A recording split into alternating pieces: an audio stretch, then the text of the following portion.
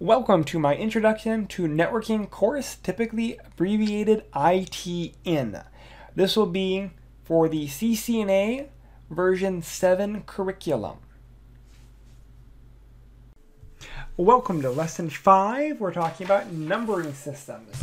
That's going to be the different numbering systems that we're going to be interacting with, like binary, hexadecimal, decimal, and so forth.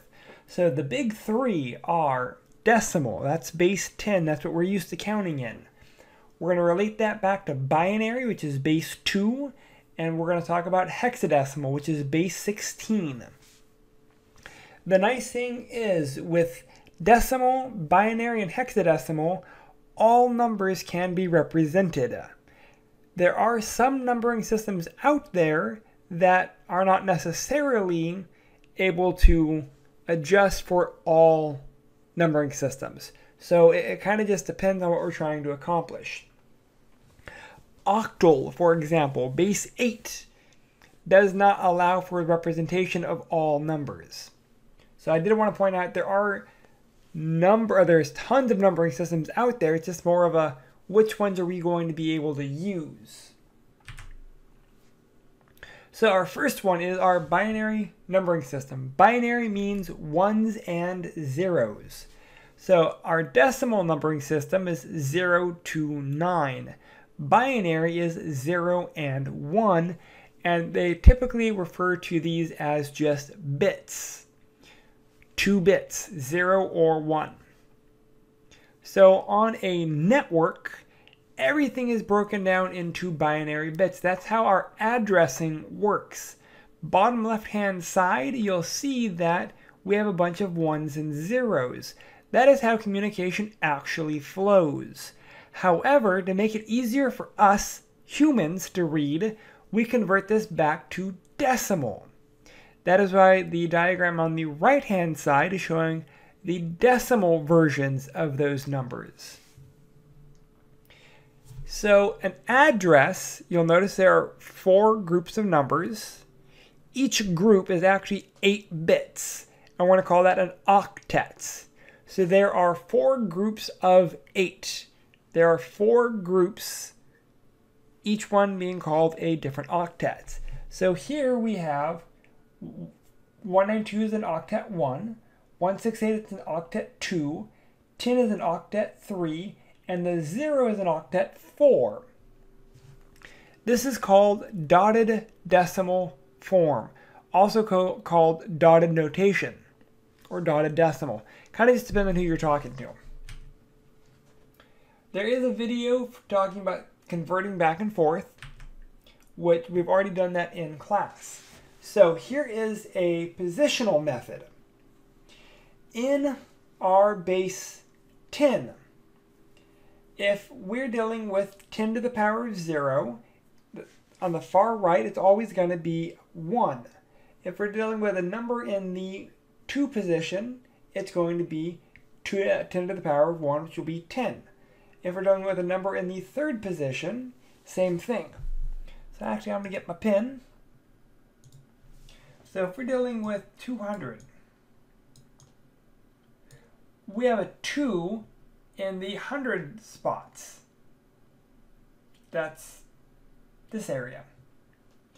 Because this will be the ones, tens, hundreds. The fourth spot will be the thousands, and so forth, which we already know that. In binary, we have the same general breakdown, except in binary, we do everything to the base of 2. 2 to the power of 0 is 1. 2 to the power of 1 is 2. 2 to the power of 2 is 4, and so forth. So if we have a number like 1, 0, 0, 1, the far right is actually going to be our 1 position. That will be our 2 position, our 4 position, and our 8 position. We basically add up where the 1s are we would add 8 plus 1, that'd be 9. In this spot right here, you'll notice we have 0, 1, 2, 3, 4, 5, 6, 7. So that's our 8 bits. That makes up a octets.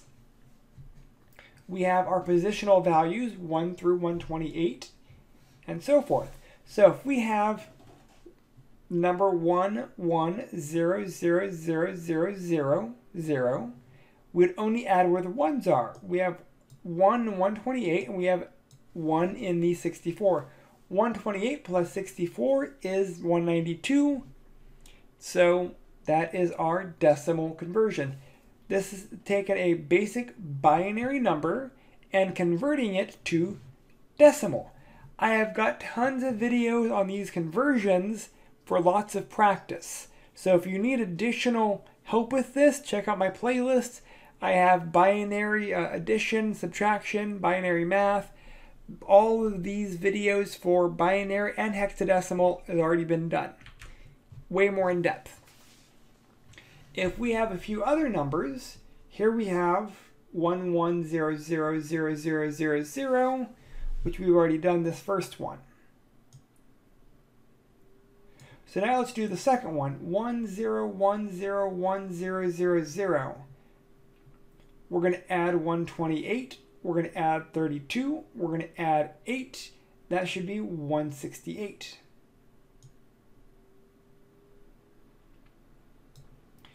The third number will be 00001011. We add where the ones are, so we add 8 plus 2 plus 1, that'll be 11. And then we could add our fourth number. Our fourth number is a little easier. 00001010. We add 8 and 2, that gives us the number 10. So put those numbers together, that would be 192.168.11.10. That is our conversion from our IP address, this guy right here, to decimal. Because again, the computer knows binary. We know decimal, so there has to be a conversion between the two.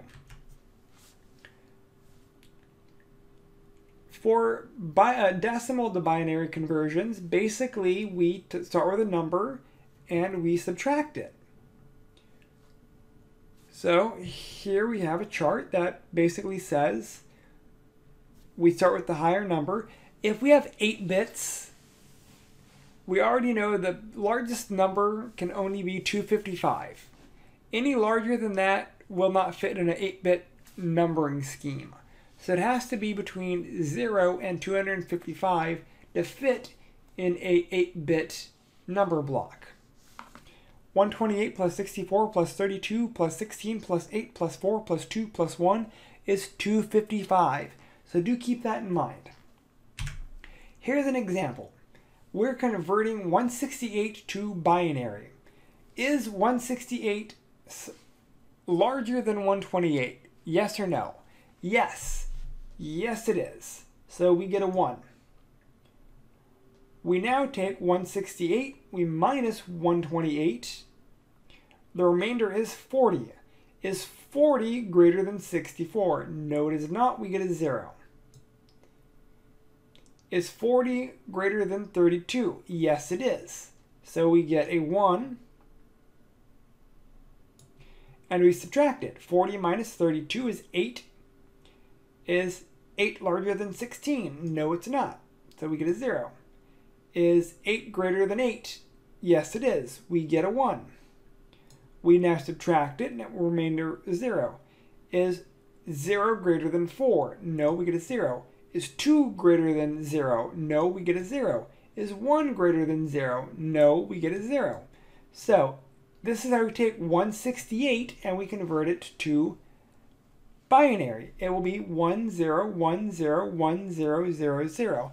And again, I have these broken down lots of examples in other videos in my playlist.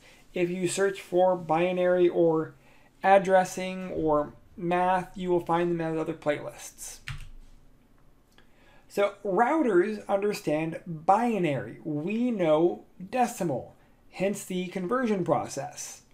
Well, the issue is when we have tons of large strings of numbers, it can get kind of confusing.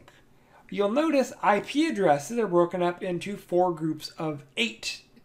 Well, the nice thing is A hexadecimal number is 4 bits.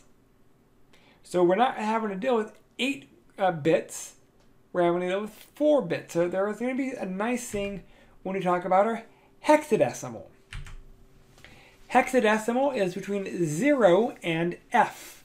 Basically, we want to represent all numbers between 0 and 15 with a single character. After 9, we have no way to denote the number 10 with a single character, so we did A. So A is actually equal to 10. B is equal to 11, C is equal to 12, D is equal to 13, E is equal to 14, F is equal to 15.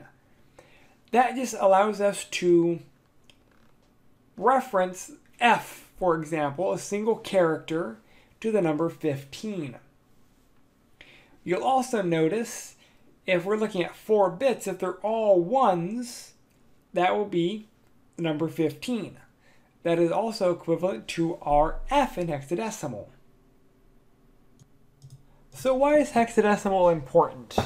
Hexadecimal is used very heavily in IPv6. That's how IPv6 addresses are actually uh, displayed. They're done in hexadecimal. So we have to know binary for IPv4.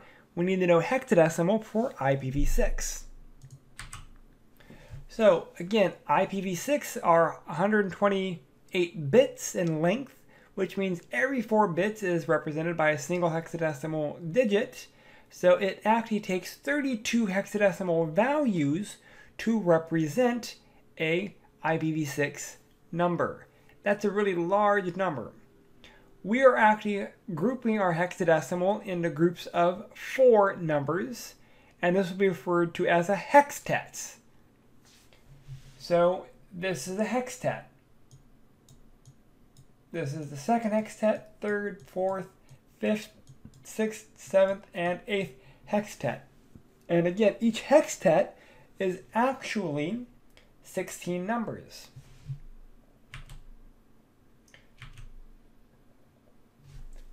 So how do we convert our different numbers to hexadecimal?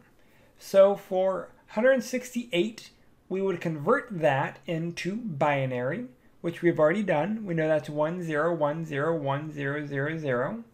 What we can do is we split it into two groups of four, and that gives us our two groups of four. Nice thing is we know hexadecimal is groups of four. This is the decimal number 10 or the hexadecimal number A. This is the decimal version 8 or the hexadecimal version 8.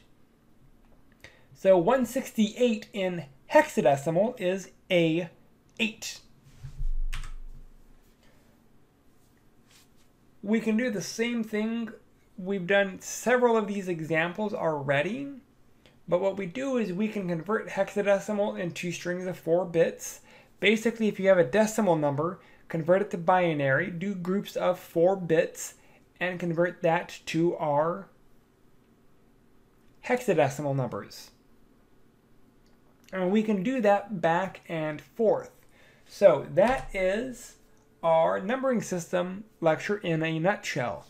We learned the primary differences between binary, decimal, we did some basic conversions, we looked at IPv6 addresses being 128 bits, and we uh, figured out what octets are and hextets are, and we did some basic conversions. That is it for this chapter. If you have any questions, please reach out. Also, if you need more examples of conversions, please check out my other playlists. I have tons of playlists on binary conversions, hexadecimal conversions, and alike. Thank you.